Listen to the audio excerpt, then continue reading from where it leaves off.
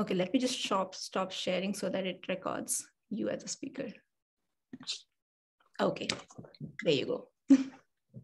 All right, we're in business. Okay, um, well, hello everyone. My name is Paige. I am a technical recruiter. I've been in the technical recruiting space for the last six years. I started my technical recruiting journey as a sourcer um, for a company called Hired, which some of you might be familiar with. It's like a two sided marketplace for engineers to come and essentially look for jobs and to be reached out by potential employers um, to get them involved in the hiring process. So that's where I sort of stumbled into recruiting um, and stumbled into software engineering as well, and really became enamored with it. Um, found the challenge of learning the ins and outs and the intricacies of navigating you know the engineering world being able to understand um, the the deep processes that engineers were doing um, and the constantly evolving landscape of technologies that were changing um, was really appealing to me. And it's really what's kept me in in the game of um, technical recruiting. So today this is really going to be conversational. I don't have any slide decks for you. I want to talk to you a little bit about engineering ladders in terms of how companies generally create them and think through them, and how you will be um, able to leverage them either when you're looking for a new job or when you're looking for an internal promotion. So that's generally how you're going to use them. Um, so I'll just I'll get started, and I'll have some additional context that we can share towards the end of the conversation. But um, let's just start with you know the the framework for engineering ladders is largely around you know visualizing and evaluating things around behaviors and competencies of engineers. Um, so the purpose are generally to have holistic and, and objective frameworks to think about your performance reviews and your feedback. It also will give engineers career perspective internally at a company and glide, excuse me, guidance for that growth. And then it also helps achieve consistency within engineering teams um, around you know standards. So these are often used in hiring processes when um, you enter into a process and maybe you are, you know, interviewing for, I would say senior is probably the most common that has the most levels within the level of senior. You can see, um, you know, levels of like A and B to like IC3 A and B, IC4 A and B, but this changes and, and is different across um, each organization that you go to. So I think what I want to start with is, is talking about like how to read and interpret the ladder. So let's look at it from the perspective of you're working internally at your company and you want to leverage your, your current ladder for promotion. So if you haven't already started having a conversation with your manager about, you know, what the expectations described in the ladder of where you're leveled, that should be one of the first things you do, right? Because once you understand the different what we call like um, like axes of what a company is is leveraging and, and looking for in skill set you'll be able to better assist um, around like looking at your self-assessment create you know asking for feedback and then calibrating on that. So one of the biggest things that i think will be really important in your journey as an engineer is making sure that you have an understand of like these different axes of which you are being leveled against um, and oftentimes, you know, the accesses might be around what I've seen around different companies is four or five different competencies. So generally you have technology. So understanding, you know, where are you leveled in your knowledge of the tech stack and tools, you know, maybe internal to the business or um, the ones that you're entering into like the company with. So another one could be around like systems. So what's going to be the level of ownership that you're going to have over this system or this code base that you're going to be working on? This could be specific to a team. This could be specific to project, but these are things that you should be taking note of, like, you know, in your career of like, what is the ownership that you've been owning, you know, in your role? Oftentimes we're looking at competencies around people, right? Like what's your relationship with the team? Are you um, a supporter? Are you a mentor? Are you a manager? What does that look like, right? And if there are oftentimes maybe like communication things that you need to work through, right, in terms of being able to um, communicate, you know, difficult, you know, information to somebody else, or even if it's working cross-functionally and collaboratively from a technical landscape to a non-technical landscape. So these are things that would all kind of fall under people. We also have another axis of process. So things of like the level of engagement with the development process and like where do you fall in that? And I can go into these a little bit deeper. Um, and then influence. So the scope of influence, you know, within your position. So are you somebody who's um, being delegated work and you're taking that work and then you're executing on it? Are you able to, are you pushing back? Are you working collaboratively? Things like that. So, and the influence axis can be seen as like different dimensions, uh, but it applies, you know, to all of the other axes. So these are all levels of performance that you would essentially be looking at when you're either going internally into a new company or you're looking for promotion. So it's an, important to highlight that every level includes the previous one. So for example, like someone might might um, evangelize technology, but specializes in it and adopts in it as well, right? So these are going to be the types of levels um, that kind of go along with that. So th- those are the first ones I wanted to stop and maybe pause and see if anyone has any questions around those. No? Okay, I'll keep it rolling.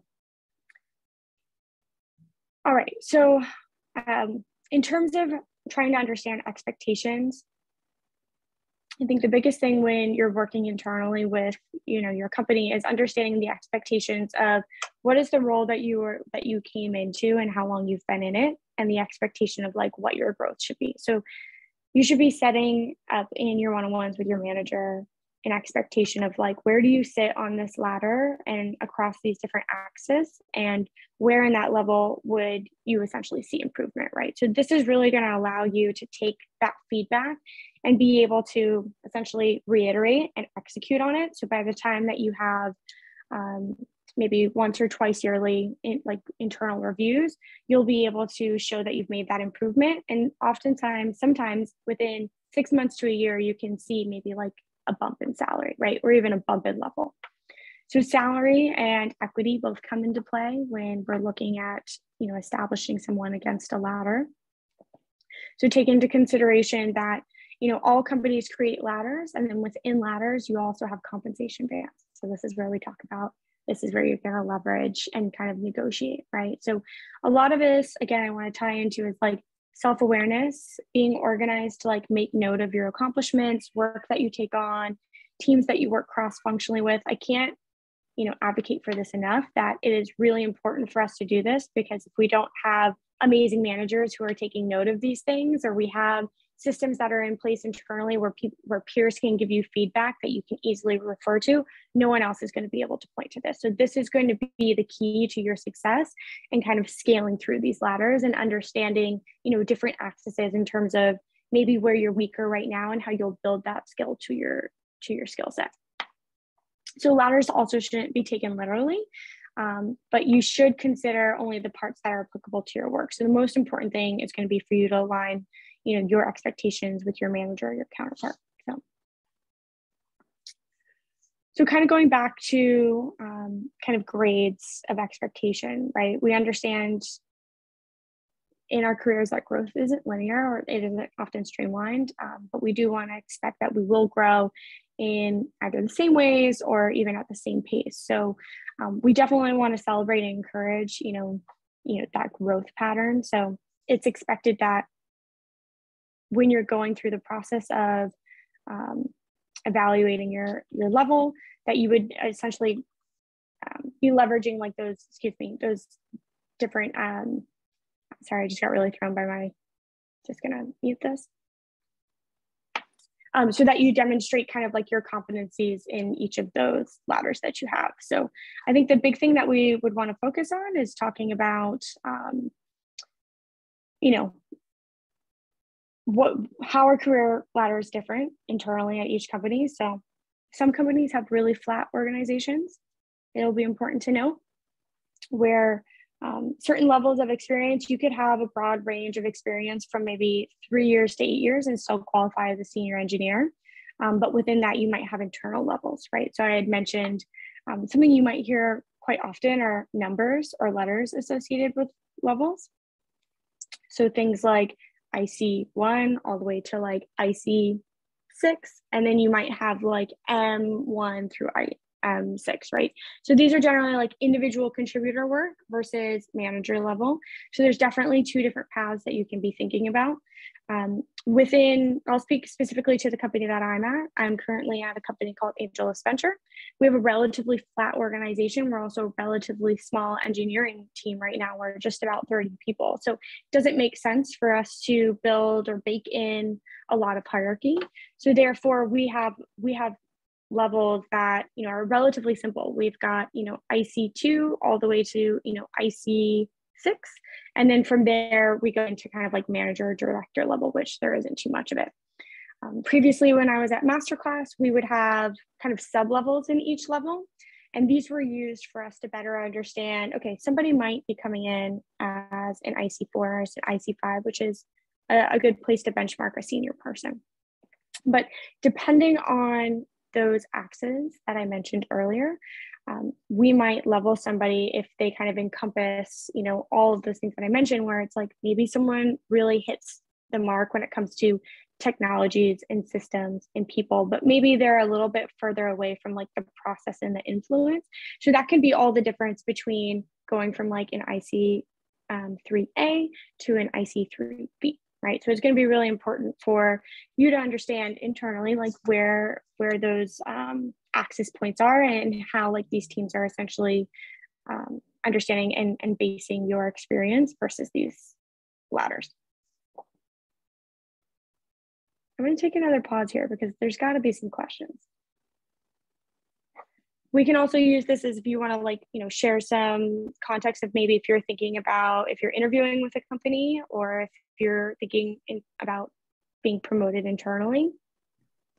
Yeah i was going to ask like if you are interviewing for a company is it okay to ask those engineering ladders upfront? Like if some companies might have it open uh, open to public so is it mm-hmm. a good uh, way to ask it in the interviews yeah, that's a great question. So we'll we'll switch over to talking about you're interviewing for a company, interviewing at a company, and you want to understand, you know, where you're going to be leveled. So oftentimes at a at a recruiter phone screen, generally what you can expect as a recruiter is just trying to a make sure that there's alignment, you know, that certain skill sets kind of aligned, um, maybe some soft skills, but also that there's a strong interest. Um, work with your recruiter. I think your recruiter is going to be your best advocate. So always work really closely with your recruiter to say, like, you know, I'm really excited in this opportunity. Um, I understand that maybe this is like a SWE role or a senior SWE role. Um, can you tell me a little bit more about like the engineering ladders and the types of competencies that you're looking for and how you kind of level those competencies against those ladders? Sometimes um, there it was a common practice if if it was asked at masterclass that we would share those ladders. And we would also we would share those really to be transparent because we want candidates to understand that leveling is not the same at every single company. It varies differently right? So that's something that you also have to kind of navigate when you're interviewing that you could be considered a senior at one place or maybe you could even be on the edge and being considered a staff at another company. Sometimes that really depends on the size of the company.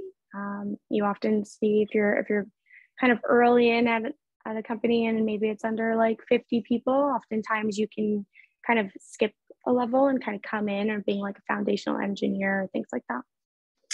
And I saw a question in the chat. All right, so how do you judge your level at a company startup that has no solid differentiators or hierarchies, especially if you want to know what level to look for outside the company?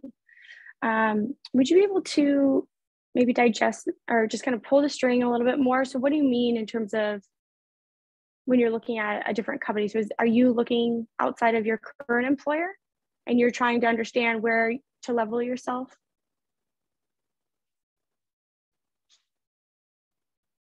Is it Ananya? If you, if, hi, would you mind um, maybe kind of pulling that uh, question out a little bit for me? What do you mean exactly? Yeah, like if I uh, looked for a job elsewhere at a different company. Okay. Yeah. Um, could you give, maybe give me some background in terms of how many years of experience you have and maybe what you're currently working on? Um, I've been in tech for a couple years, but I've only had this job for about a year, software engineering. Okay. Um, okay, so you pivoted into software engineering. Yeah. Okay, great. Um, so oftentimes I would say I kind of use like a rule of thumb. I think there's like anywhere between one to three years is generally going to be SWE, right? So just software engineering titles. I generally see titles for senior kind of popping in at like the three and a half to four year mark. Now, this isn't always the case. This isn't always the rule of thumb, but it's a pretty good industry standard, right? So you could definitely apply into senior roles depending on what the application process is. Um, you might want to just, if you hop onto a call with a recruiter, like set an expectation of like, hey, I didn't see that you had, like, if you didn't have SWE roles available, you could say, I didn't, I noticed you didn't have any software engineering roles available. I'm really much, very much interested. Share why you think, you know, you feel applicable. Um, but also ask about the level. Be like, you know, based off of my years of experience and the experience that I've I've garnered at my current company, um, where do you think that would be leveled? So some recruiters might be open to telling you that, some might not. Um, you can only always ask if they have engineering blogs that might have context into that. Um, oftentimes, you know, some of the bigger companies have that built out. Um, Thank you. Okay, so yeah, you're welcome. But again, always leverage your recruiter. I think the best thing you can do as a candidate is like build a strong relationship with your recruiter, right? Because you're creating um, a level of trust as well as like knowledge transfer, right? So, like when you really tell them kind of like maybe what you're leveraging for or you're indexing on, that's probably going to be the most important thing because ladders aren't really just about how much money you're going to be making, but it's also going to be about like, is that engineering culture and, and how they assess my skill set and my growth going to be the right fit for me? Right. So you can also ask, like, you know, what does it generally look like? You know, is it, has there been a lot of internal promotion? that's always a good indicator of like has there been internal promotion within this company where you see people who are being promoted from you know various levels of senior or from SWE to senior or senior staff things like that? Because that's also a high indicator of like are people happy? Are they seeing growth? And are they being rewarded for that growth and therefore being retained? All right olga i see you have your hand up Hi, yes. Uh, so I have a similar question. So I have a seven years of experience in the tech field, but followed by a 13 year gap. So does it mean that I have to discount all my previous experience and start from like junior roles and, you know, all was all of my time wasted or how is gonna work out? Sure, that's a really good question. Um, I think one of the big basis points is what is the stack that you're using today and how modern and, and relevant is it, right? So those are one of the things that I often see engineering teams look at. Um, I don't think taking a gap is going to be a hit against you. I can understand why, like, we might feel that, right? Especially some of us are caretakers, either for family members or we have families, or maybe we pivot and we try and do something different. It's always great to also be really transparent about that. Um, but I oftentimes think that whatever um, the proficiency of the stack and when we're thinking about um, like process like you know how how hands-on have you been in process? You know are you somebody that um, can challenge the team process and look for ways to improve? Is that something that you still feel really confident about and that you can showcase in your interview? Is going to be really important right? So there's going to be different things here when we're talking about like the technology that you're used. Like are you somebody who can adapt to it? If you're somebody who can adapt to it because maybe it's very different from what you had used 13 years ago that might set you back slightly in the ladder right? Internally in that company because there's an expectation that you know you would essentially be you know specialized or a master right? Having you know being the go-to person for that technology or even being the person with the deep knowledge right? Which oftentimes we see those axes closer to staff level or architects and principal. Um, but i would say adopting and specializing is going to put you somewhere in kind of like the uh, mid-level to senior SWE band which will essentially have attached to it a compensation band um, which is something that you'll have to think about when you go into interviewing of like what is your expectation um, maybe from what you're looking for from a base salary or total compensation and how do you think that's going to align with maybe one of these levels so definitely something that you want to have a conversation with early on with um, a recruiter and just saying you know based off of the technology excuse me technology stack and the expectation of the engineering ladder at X, Y, and Z. Um, how do you think you know my current background kind of stands up? And if they don't know, it might be something that if you move forward to the next conversation with the hiring manager, generally when you have that time to talk to the hiring manager, you can just, you know, express those concerns and be like, you know, I want to make sure that um, I have an understanding of the ladder and how I can grow in the company and and um, kind of like where that's going to place me, you know, back into my career path. Is that helpful? Yes, thank you. Okay, excellent. All right. So Liz, oh, let's see, um, Melissa. Our seniors have experience with latest programming language operators, internal native functions, the ability to art. Sorry, is this the ability to mentor juniors, leadership to generate solutions, and the ability to produce quickly? I know there's a lot, but you can get there if you work hard and find a mentor. I'm sorry, Melissa, I just read your comment out loud. I hope that was helpful. I wasn't sure if there was a question baked in. Yeah, don't worry about it. That's fine. I just thought I'd give some feedback, but yeah. Excellent. Um, all right. So, Liz, when pivoting to tech, what's the best way to prove that I have the competencies that a role is looking for? Is having personal projects enough? Okay. Um, yes and no. It depends. So, some companies will be really heavy on wanting to maybe like look at personal projects um, or maybe looking at your GitHub.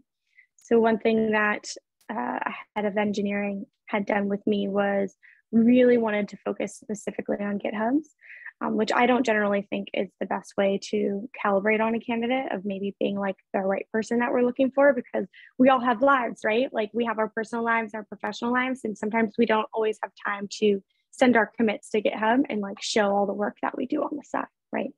Um, I will say it can oftentimes be harder so if if Liz, if you're coming from the perspective of maybe being a new grad or coming out of a boot camp, I would highly suggest looking at companies that focus on apprenticeships because apprenticeships are an amazing way to kind of like kick off and get into kind of the tech space, right? So there's a handful of companies that I know that do a really good job of this. You've got um, PagerDuty, Airbnb, Asana, you know, Facebook, all the big ones, definitely. Um, it definitely have those apprenticeships. And I often find too that the conversion rate from apprenticeship into kind of like a full time hire is quite high.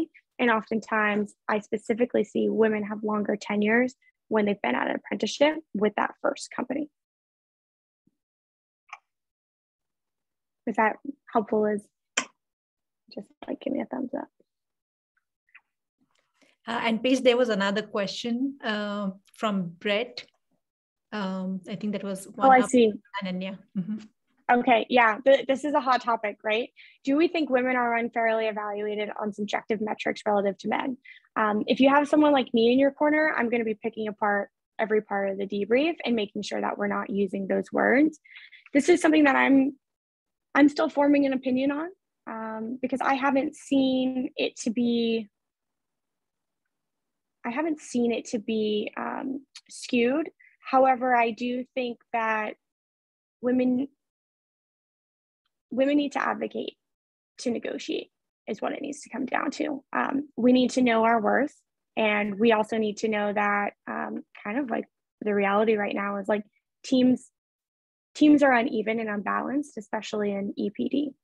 Um, and so I'm not saying like use that as a way to leverage and try and like make more money, but um, I think the reality is that I think women should be really mindful of like how they negotiate and um, the type of number that they put forward. So, as a rule of thumb, I know when when we generally change careers, or excuse me, when we change jobs, we're we're looking for maybe like that bump that we weren't going to get or or working towards at our current company, right? So, I would always say like try and leverage at least a baseline of 10k more. Um, but I also have been told once that if you sometimes aren't asking a number that scares you, maybe you're not asking high enough, right? So I think it's okay to be a little bit bullish. And I also think it's okay for you to think really clearly about what's more important to you um, in terms of base salary or equity. Every company is different. Um, I will say that what I'm seeing in the market right now is that things are going to start to get hard. I'm seeing a lot of layoffs happen at companies. Um, and, uh, and a lot of people are going to be getting swooped up by like some of the bigger companies. And so when you go to bigger companies, they often have really structured compensation bands where sometimes there's little to no wiggle room, but they can throw a lot of money at the front, right? So like massive sign-on bonuses for like the first or second year, things like that. Um, but I think you want to think about is like, what is the number that I need to make a move? But also, what is the level and um, the growth both like professionally as well as like compensation wise that I can I think I can achieve in the next like one to two years while I'm there.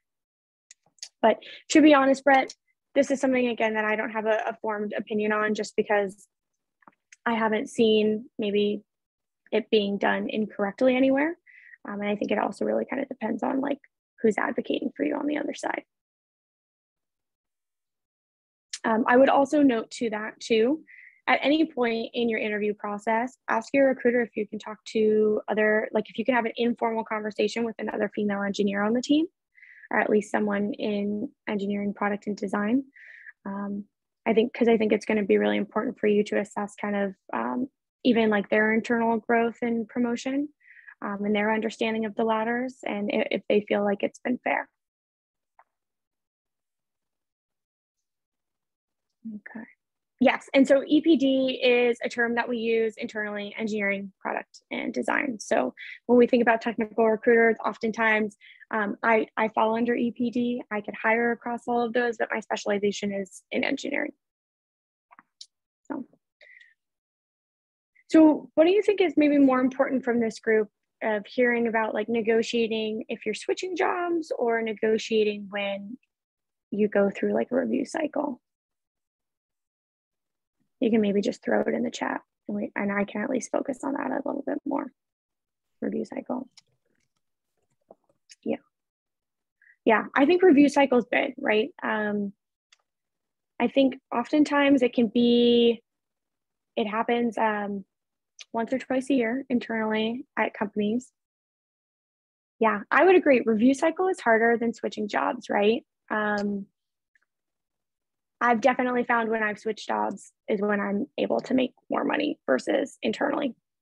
It's a lot harder and you need to be in like the right place that really values that. So again, when you're going into the process of looking for a job of like understanding when that review cycle happens, having informal conversations maybe with other other females within the, the engineering department to understand like what does your growth look like um, and knowing that like legally we can't say like every every review cycle you're gonna like get promoted right? You might get a bump right? Which might be attributed to a bonus some sort of performance bonus. Um, but i would just i would anticipate for most companies you are probably going to be looking at a threshold of like year maybe before you get to a promotion right? Um, the slight change in base salary is probably often maybe if you are just switching a level, or maybe you're going from that A to B, but it's not like a massive promotion, right? It's not like a switch from like an IC4 to an IC5. Um, okay, so again, going back to the review cycle, I can't mention this enough, but taking note of like all of the things that you do and you accomplish, right? So I don't know if uh, like it could be essentially like you writing like a weekly review to yourself that you email to yourself of like these are the things that I've done. I don't know if this is a big practice in engineering um, that you present to your managers on a weekly basis of like, you know, this is this is how much line of code I've changed, or you know, maybe I was working on bugs, or maybe this is like a project I undertook. But it's really important for you to keep track of that, right? Because come review cycle, we're like banging our heads. We're like, what did what did I do the last two quarters? I don't know. So that's going to be really big if there's any way to pull data, data is also massive, right? Like we're all within this kind of like engineering world, like data kind of speaks louder than words. Like we are able to kind of see movement more when we talk more from like that kind of logical math sense instead of from like a feeling sense, right? So being able to say, um, I improved, you know, the code by like 20 or 30%, or, you know, I owned 50% of the bug changes, right? So also attaching um, a number of not only of like the work that you've done, but how did it impact the team? And how did it impact the company based off the work that you did? And these are often times um, behavioral behavioral competencies that we're looking for right? This kind of goes back to what i was talking about of like how much do you touch the process? How much do you touch the impact? How are you involved in um, like the system and the influence right so the work that you're doing on a day-to-day basis has influence right it could be through sub teams your direct teams multiple teams is the company is it the users right uh, like that are actually using this product. So that's also going to be really important. Um, and this is something that I look for when I talk to people of I don't want to just hear what you've done, but can you understand the level of impact that you've created? And when you can tie that sometimes to a number or like an actual impact of like what it did for the business, how it attributed to, you know, revenue, how did it attribute to um, retention of users, that's bigger, right? Because you see the the full picture. So one follow-up question to that I wanted to ask was like when you're doing when we are in that review cycle, one of the uh, part is to also do a self review. So when you mm-hmm. do the uh, when you write the self review, do we also check that with the engineering ladders and like um at or like uh, write it in such a way that it's uh, in line with the terms that are used or the the uh, sections that are used in the engineering ladders? Yeah, definitely. I would very much encourage that. So um, the point of having the ladders again is to make sure that you're aligned with your manager who maybe you're meeting with weekly bi-weekly monthly whatever and that you're seeing progress in those areas right because if if you're not looking to like make that progress then like i like to call it you're vesting and resting right? Like sometimes that happens. Maybe you're not being challenged enough and maybe it's not the right team. So maybe you also need to be thinking about like what would be interesting to you? What could you take on maybe outside of the work that you're doing day to day? But it that self-reflection um, and that self-assessment is really important. Um, i think there's with that like we see like a like a need and a want for growth we see creativity and curiosity which i think are really important um, when you're reflecting on those i think it gives you a better sense of like maybe where not only can you impact yourself and how you grow in the ladder, but like how you can actually impact the product. So again, taking note of like what you've been working on and how it's impacting kind of the team, cross-functional team the company, things like that. Does that answer that, Aditi? Yeah, it does. Thank you. Okay. All right, perfect. Um, I know that we also want to talk about job change. So how do we talk about job change? Um, again, early and often maybe trying to understand ladders or understanding the competencies that you're going to be being evaluated on oftentimes you can also look to a company's values um, as some of those soft skills that companies are going to be essentially assessing for in um, in their interviews. So i'll talk a little bit about the company that i'm currently at AngelList Venture. We're really big one of, one of our big values is like a bias towards action right? So we're creating a platform for funders which are investors which could be you know anyone who is accredited to invest in startups and then the second half of the, the platform kind of the two-sided marketplace of it is a place where startups can go and essentially get funded from the funders on our platform. So we have a bias towards action. We are a very entrepreneurial place. So what we're looking for is for people who have immense agency and ownership and can show that they've done that in the past, right?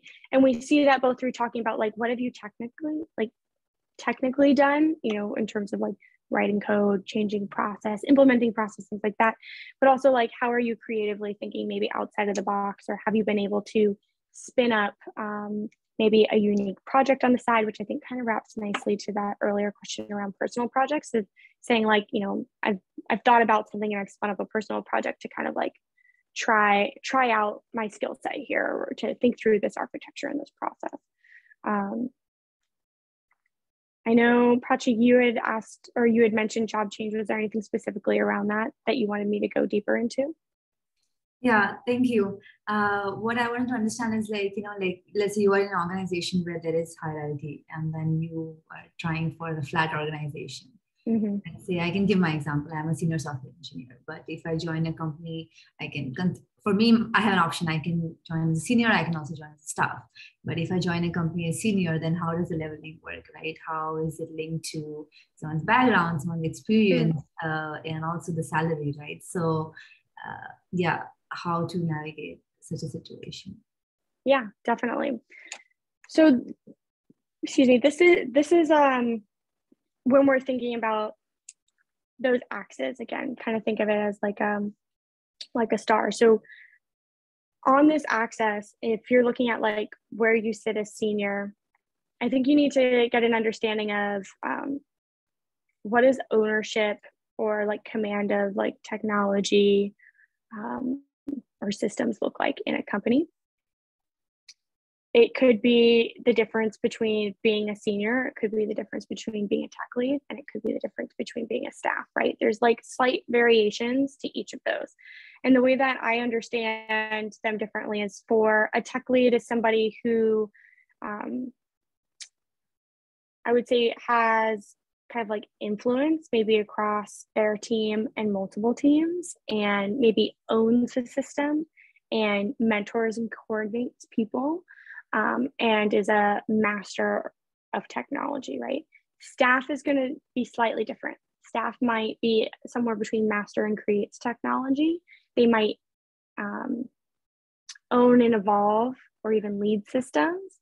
And they might maybe coordinate people, but they don't quite manage people, right? And the staff oftentimes might have more influence over multiple teams versus their internal team or sub teams, right? So actually I have I have a picture. I think that will be really helpful. Maybe if I can pull it up. This is something that I often refer to when, um, especially when I advise smaller companies who are trying to think about ladders. I'll bring this up. Um, it's not gonna show up how I want it. I'll share my screen. Am I able to share my screen? Yes, you should be so. able to. Okay. Okay. Can you guys see this okay? I apologize that it's kind of, it's black. Usually it's white when I, when I have it against something else, but it's a little bit of this star that I think through with people where we have technology here up at the top. Is that doable? Can everyone see that? Yes. Okay. We also have um, systems, which are those things that I talked. So this access here, oh, some whiteboarding feature. Um, see how this works. All right, so I might be able to draw on this. All right, so Prachi, your question was like, what's the difference in levels of senior, right? So I'm gonna take a tech lead, for example. So a tech lead is probably somebody who kind of like mentors down here. And then they would probably, well, that's not gonna work. So they would probably mentor here and they would probably own a system, right? So we'd like connect this to own to a system. Apologies. So it'd be somewhere along this axis of mentoring and owning a system. They might even evangelize or even master the technology. Yeah. They might have influence across multiple teams.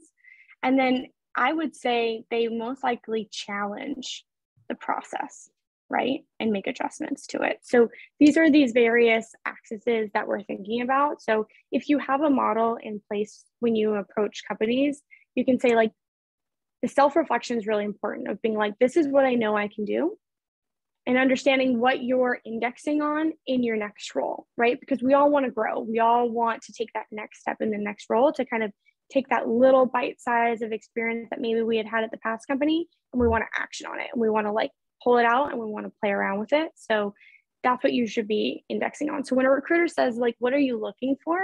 these are the types of things the clearer you can be about what you're looking for the better that we can understand of like what where we can place you and highlighting that growth of being like well you mentioned this. Can you give me an example of that? If you can now give an example of that we might be able to like circle one of these marks and be like shows that she can mentor. So like match her here and then we start like leveling you across those ladders i see yeah this is amazing thank you you're welcome um, so a lot of this relies on us, right? I'm sure we've all had experiences of having really good or bad recruiters. Maybe I've been a good or bad recruiter in the past. Um, but we can't always rely on those recruiters to ask the right questions or maybe have the right intuition. So it really is our job when we're interviewing to advocate for what we know we have in our tool belt, to showcase that, to connect it to the impact that it's had on the business, and then to index on what we've done and what we want to do next, right? Like saying I want to work with like different technologies. Okay, great. I would ask you, well, what specifically do you not have in your tool belt? And where do you think you would place yourself there, right? How can you show me examples of, you know, how quickly you learn or how quickly you can um, adapt, right? So again, that adapt that adapt word that I'm using is part of that technology, right? So we can basis point you there and then we can go up. Now we would understand your ability to adapt through how you perform in your technical interviews, right? And then from your technical interviews, when you pass there, you might have more technical interviews that will take you deeper. So we have a deeper understanding of like your domain knowledge. And then from there is when we, so from that domain knowledge, we're looking at things of like your process or your technology. When we go over to behavioral, we're looking at people, your ability to push back or to be creative and think outside of the box. We're also looking at your ability to create influence. Influence is really important, right? When have you been able to maybe push back against an idea or have you been able to get buy-in, right? Or to like convince people onto you, you know, to seeing your perspective. All of these things are part of the engineering ladder, right? Which understandably aren't always available to you. So that's why it's important to like be having these conversations first and foremost with your recruiter. And then when you get in front of that hiring manager, asking them like, where do certain where do these things that i'm indexing on lie in your ladder right so that i know that i can start like mentally mapping myself there and then when you get to offer you advocate for it you're like no no no no show me that ladder let's talk about these things right and so they're going to be positioning you most likely off of how you perform in your interviews right so making sure that you can back those up with examples is going to be really important Okay. I'm going to just leave it for the rest of questions. Uh, there was a question from Brett. Uh, what is what oh, does yeah. utilizing the technology look like? Oh, such a good question. Um, yeah. So this really depends, I think, on the type of organization that you're in.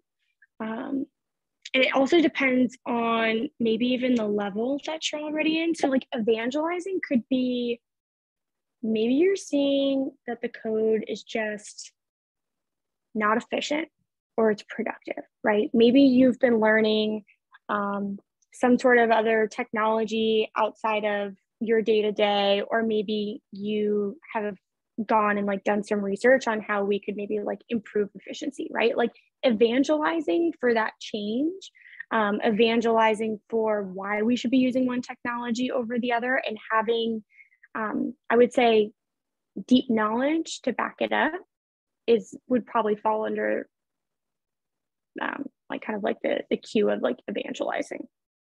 Um, it could also just be taking the company from like one like one like evangelizing like even like a migration from something just because it's going to be more efficient right? Which we often which we're seeing with a lot of even some of these these kind of like mid-level companies who are quickly as the technology stack evolves which is quite often and very fast is like modernizing and like you know it can even be like switching to different type of architecture right? And only having to like break it slightly. So like evangelizing for that type of work so it could be like deep domain knowledge it could even evangelizing could go as far as like process or systems hope that's helpful thank you yeah, you're welcome. All right.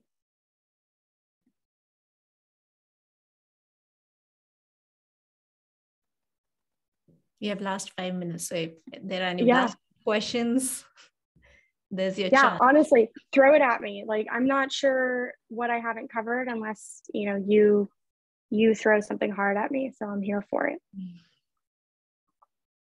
How to know your worth. That's a good question. Um,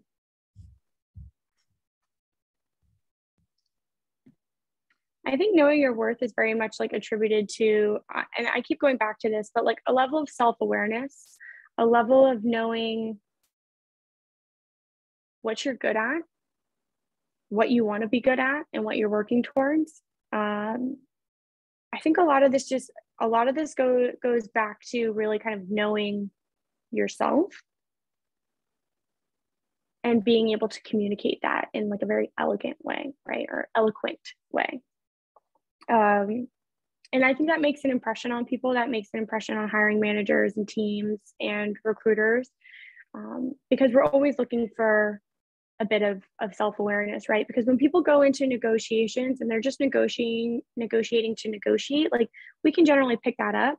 And that doesn't make me as your recruiter want to necessarily advocate for you to like get what you want, right? You need to say, like, hey, like I know that I nailed this. You said I nailed this part of um, the interview, right? And I don't feel like maybe my level um, or like the base is reflective of that work. So um, there's a difference between advocating for that and negotiating that, and also knowing like maybe to like when to walk away when um, like a culture and a leveling and a comp structure are not aligned with like who you are, right, and what you're looking for. Um, but also, I just think like women are badass, and I think like we should ask for as much as the boys are asking for, and like not bat an eyelash because oftentimes we won't back down. Teams won't back down, so like why not ask it? Might be really, really like unprofessional advice, but I think it's the right advice. Um, what are some accurate sources to figure out compensation bands? Sites like Glassdoor, Salary.com. Please don't use those. They're really bad. They're really bad. Um, I would say levels is okay. Is it's more accurate. Levels.fyi. Yep, Aditi mentioned that. Um, I think that's more accurate. The question you should be asking is what what um, percentile of the market is a company indexing on? right? So AngelList, we're in the 75th percentile. We're pretty competitive, right? Like you also have to understand like we can't we can't throw money around the way that like Google and Facebook who have war chests of money can. Um, but what we can do is get you like a really fair offer for the for the um, the Bay Area. If you're looking, you also need to be thinking about how does leveling look at at smaller companies, right? So there are some small companies, if we're looking at anywhere between seed to series B, it could be smaller, right? Like the base salary might be smaller. Um, and sometimes that's attributed to how much money they have raised. So not only are you assessing like the stage of a company, excuse me, in terms of um, the, the raise that they've currently raised, but their valuation, the size of the team, and location. Now, something that I'm seeing in the industry is that more companies are being competitive, even if you live outside of the Bay Area. Not all, but some. Um, and we're going to start seeing a lot of companies, especially Airbnb, just announced that you can work anywhere in the world and your compensation won't change. Now, I think that there's like a little asterisk to that. Like, your compensation won't change if you have already worked with us, right? Like, it will probably be slightly different when you come in, right? And for the most part, we do need to have um, metro locations that we look at. So we'll look at massive metro locations. So like there's A, B, and C. You've got San Francisco, New York, and maybe LA are like metro area A. Then you've got B, which is going to be like your next big tech hubs like Chicago, Denver, Austin. And then C is just going to be a bucket list of everywhere else.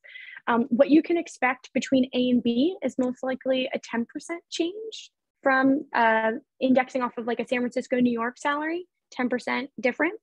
And then from B to C is probably going to be like maybe somewhere between 12 to 15% difference, right? Because we also have to take into consideration cost of living. Um, however, I am seeing more companies indexing more in the B, like nationwide right? Just because talent is leaving the hubs right? And so we don't we don't want to lose that talent um, we want to keep that talent engaged right? So um, i would say thinking about what percentile that they're indexing on there's 25th 50th 75th the only people who are playing in the 100th are the people who make the rules which are google and all the things essentially. How do you uh, so uh, just a question on that. How do you know uh, the percentile of that company like, do you ask that in the interviews? You can. Um, I would say I wouldn't encourage you to ask that at the beginning, right? Because we don't want it to look like you're just after the money, right? We want you to do that when you're starting to build that conversation with with your um your recruiter. So it's also okay for you to give an expectation. I would rather you give me an expectation of what you're looking for so that I have something to go back and work with. Oftentimes withholding that is really hard because if you don't tell me what you want and you give me very vague answers, like I might index on the wrong thing, right? Like I might index on more equity or like a little bump here versus maybe like a sign on bonus and things like that. So I think it's really important for us and we go back to Olga's question of knowing our knowing our worth is being very confident in knowing what we want, right? And saying like um, and it's okay for you to be like I'm in I'm in a promotion cycle like currently at work and you know my promotion um, or my bonus is generally this much or my promotion you know will index somewhere between 8 to 10%, right? If I were to change levels. So you can say that's something that I'm looking for, which would position me at X, right? Um, I always say ask for at least 10 to 15. And if we come in at like that 10, you have room to negotiate, right? You can negotiate a little bit on the, the equity, can negotiate a little bit on the base. For the most part, for me as a recruiter, my practice is always to leave a little bit of money on the table because I think we all want to negotiate a little bit, right? Unless we just like hit you with that amazing offer. Um, if there is no room to negotiate, I'll be really honest. If we've like maxed out the top of the band, it should be good practice of a recruiter to say, like, we've maxed out the top of the band for where you're internally leveled. And this is kind of like, you know, our best and best and only offer, right? Sometimes sometimes people are really honest about that. Um, but I think it'll just be really important when you get to that stage, be like, I want to talk to you about compensation, but I'd like to better understand what your engineering levels are. Um, and what what percentile of the market that you're in and um, if they feel comfortable giving you a wide band. And then you could say okay that band works because i'm indexing for you know closer to like the middle to the higher right? And that and that takes like self-awareness too and like a little bit of like killing the ego and just like being really honest. Um, we all want to make more money right? But at the end of the day um, I think being honest and being realistic too, like is going to be most important to get you what you want. Generally, the candidates that don't tell me what their like competing offers are or what they're indexing on, I generally lose because they didn't tell me what I like. Eh, and I would say like you you really should only negotiate once, right? Put everything that you think you want at the front of that negotiation so that we can go back and we can figure out what we can make happen. But don't be like, okay, great, now I need this, right? Because that's not really how it works. At least, um, at least for the, the recruiter, we want to make it really quick and we want to know what we can get you. One quick question, follow-up question to that would be: usually people are hired at like, let's say you are in this range, right? And uh, you are in this range because you've already proved you are operating at that level. So they'll place you at, at some somewhere in middle, so you know you have room for growth, right?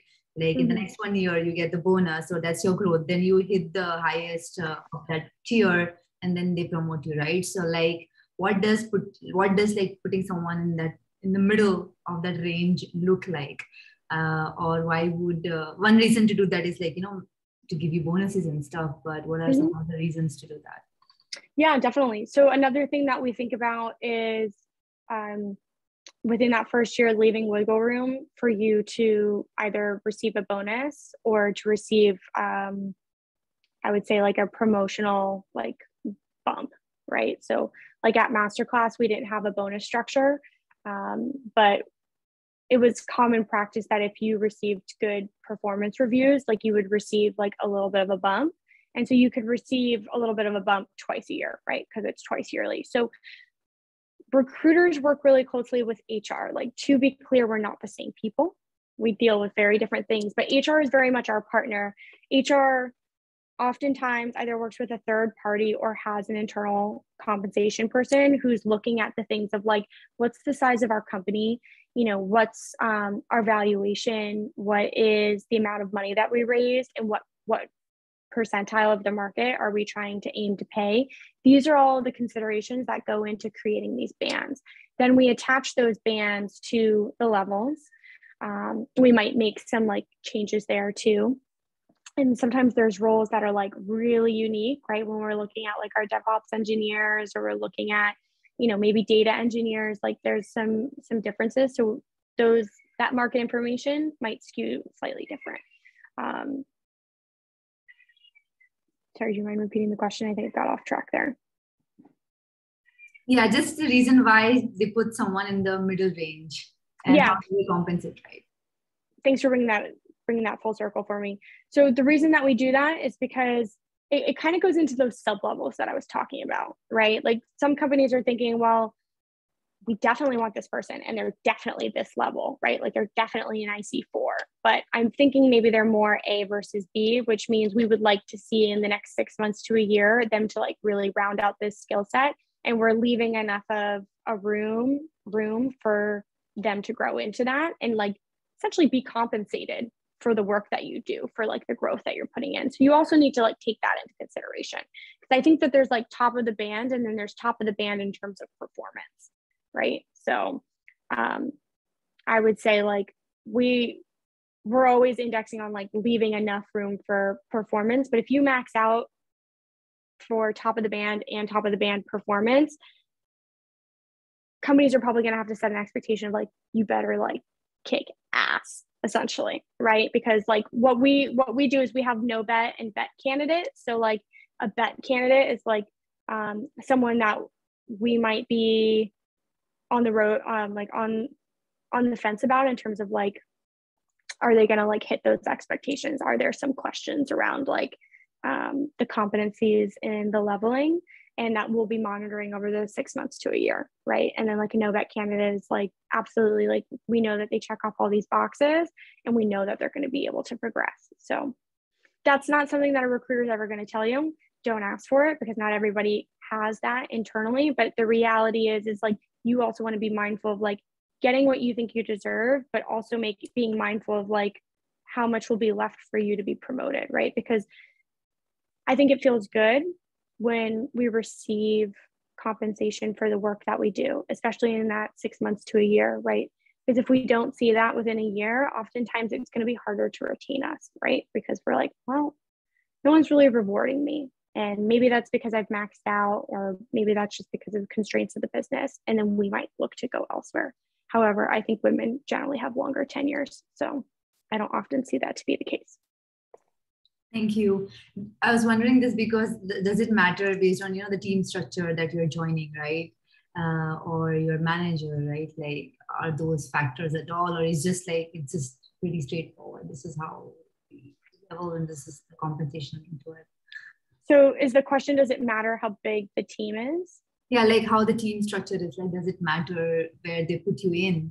Let's say if they only have work for a senior engineer and not someone who might if so, if let's say I want to join as a senior and want to become a staff in a year, but that's not the kind of work uh, that uh, will help me get there, right? Then it matters, right? Then they would put me somewhere in like mid range and then let me grow through like uh, in a couple years, and that's when I'm eligible for a staff Mm. in that team, right? Because the work and the time kind of like makes sense. Um, Yeah. So so levels and titles are going to look different everywhere. I think that's the one tricky thing about negotiating or not negotiating, navigating the landscape is some people just have flat organizations and everyone just gets the title software engineer or just everyone gets title senior software engineer, right?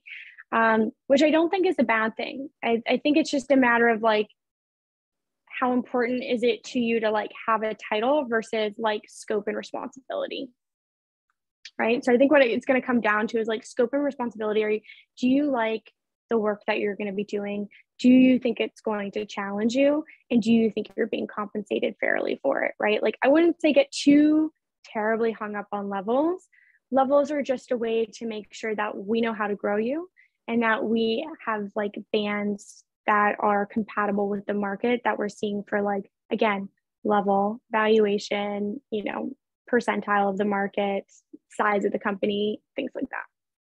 So again these are all loose. I wouldn't say like ever try and attach yourself to being like i must be an ic4 wherever i go because it might look different because that little like pentagram that i showed you can skew differently, right? Like the way that they decide certain roles um, and levels are associated might index just slightly different on certain things. And it could be around communication with people, it could be around ownership, it could be around technology stack. I think tech stack is always going to be like one of those big things, and then communication. And then everything else, like process and systems, kind of help to support each side of those. Thank you. Yeah, you're welcome. All right. Well, I know we're at time. Yep. Did I talk your ear off? Sorry? I said, did I talk your ear off? No, this was really an interesting uh, conversation. I was going to say it's like it didn't feel like it, it was that long, but definitely it was uh, uh, the tips that you gave and the insights that, that you gave, but uh, definitely very useful. I'm sure like everyone will uh, will be using that that some uh, somewhere or the other in their career. So definitely, to me, also, it would it was very valuable to just listen to these tips and tricks that I could yeah. use uh, during review cycles or things like that. So yeah. thank you for well, that. You, you let me know when you're when you're ready to go through your promotion cycle, and sure. I'm happy to, to, chat with you. All of you guys can you know find me on the interwebs. Um, my name is Paige Laurenzano. Feel free to just reach out, introduce yourself, say you were part of um, the Women Who Code meeting today, and be more than happy to hop on a call with you and chat through if you're going through a job change or if you're going through like internal promotions and review cycles. Um, if you want to just talk about it, I'm, I'm here. I would love to support this community. So I want to see more women on my teams everywhere I go. So let's let's make sure that that happens. And I have an amazing resource of women um, too who are leading um, women engineer kind of uh, focus to like getting them plugged into the right companies and making sure that they find like the right fit not only just from leveling compensation but like cultural and benefit wise and things like that that's great to know. Yeah, everyone. I have the uh, I have a page uh, LinkedIn uh, link for Paige's page uh, or, or profile uh, in the meetup uh, description. So if uh, you can just uh, connect with her if you have any further questions, uh, join Slack if you have any more questions for Prachi or me about Women Who Code. we are here to help you out in any way that you want. So that, thank All you right. everyone for attending thank and you. thank you. Yeah. Appreciate it. Thank you for giving me the opportunity and hope to see you guys soon. Yep. Thank you. Bye, everyone. Thank you.